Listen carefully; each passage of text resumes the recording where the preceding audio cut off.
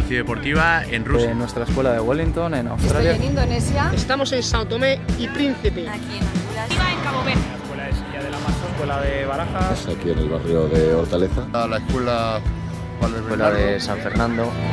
။